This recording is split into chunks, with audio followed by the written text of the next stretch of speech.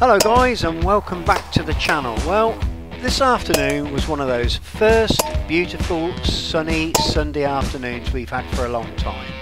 And I thought what better chance to get is to have a wander over to the woods at the airfield where I've had a feeder going on that very tree. It's been out there for about three weeks and the camera that's been on it has shown up to four visitors any one time plus the usual magpies and jays and crows so I thought let's have a couple of hours this afternoon over in the woods.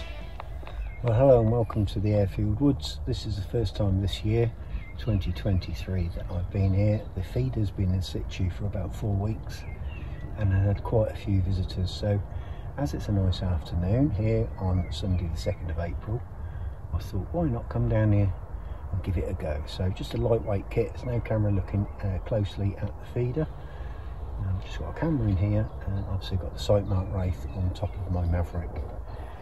Uh, H&N 25 grain slugs so we'll see if they can do the business if we get some visitors. See you later on.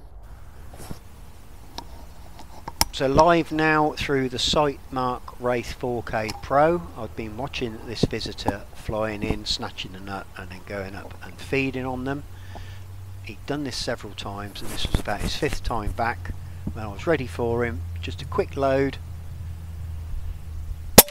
Bosh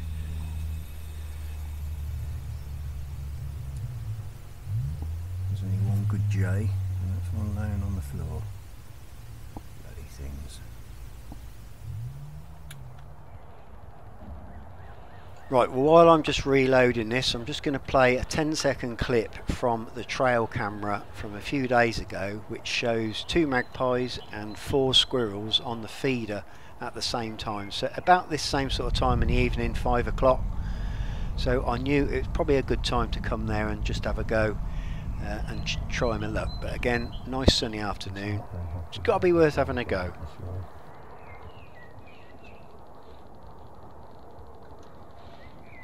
The only downside in the afternoon is you can't get into that hide without being seen, whereas the cover of darkness in the morning is always an advantage for us.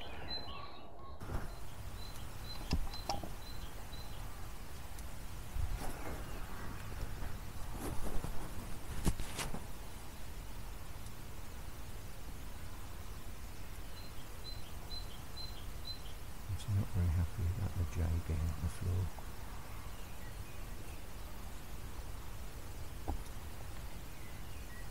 So that shadow that you saw go across that feeder a minute ago was uh, his second squirrel that I hadn't actually seen from my position.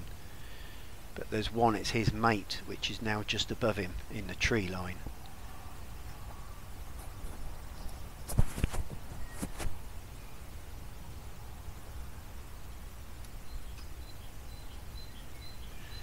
You see what I mean now about the picture quality of that Sightmark Wraith 4K. It's absolutely stunning.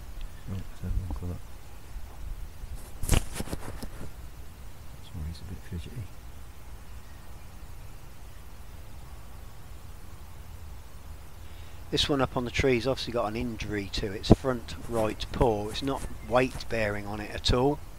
Just keeps sort of holding it up.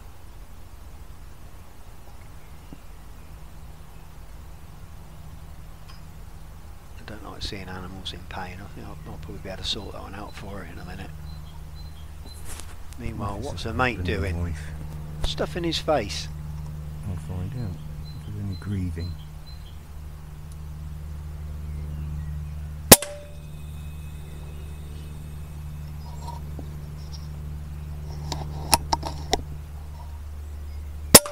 Not a lot of grieving there, was there?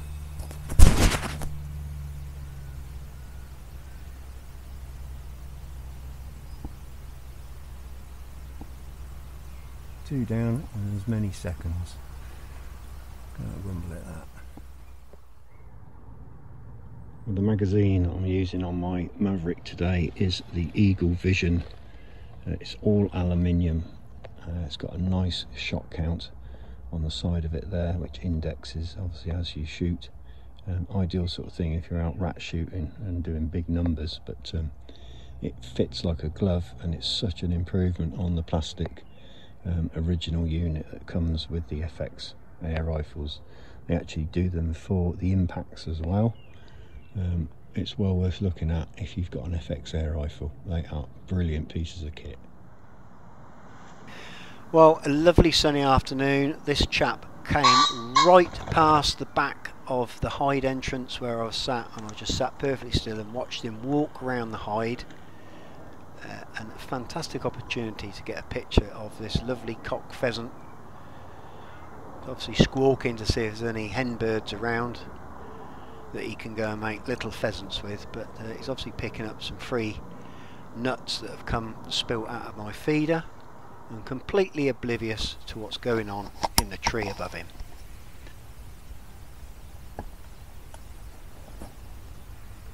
He's a bit twitchy because there's a jay about.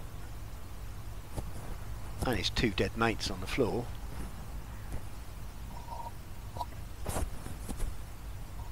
Another one that doesn't put his right, right. paw down.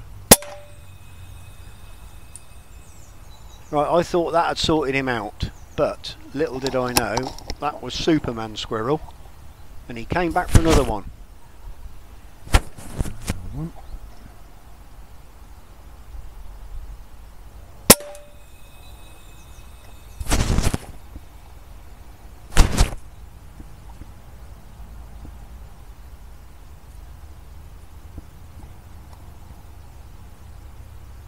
I thought it would take two of those to sort him out.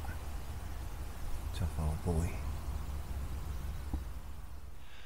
Well, if I could have found a sign saying meanwhile back at the Batcave, I would have used it. Uh, this chap was still going around picking up his Sunday afternoon dinner and completely unaware and not caring at all what was going on in the tree above him. What better way to spend a Sunday afternoon than to sit and watch this chap strutting his stuff? I hope you've enjoyed this short video. It just goes to prove that you don't always go out and shoot hundreds of squirrels, but the three that I got there were three well worth getting out of the way before the birds start nesting. Please remember to click on that subscribe and hit the notification bell, and I'll see you again soon. Back in the Manor House in the Binurminator.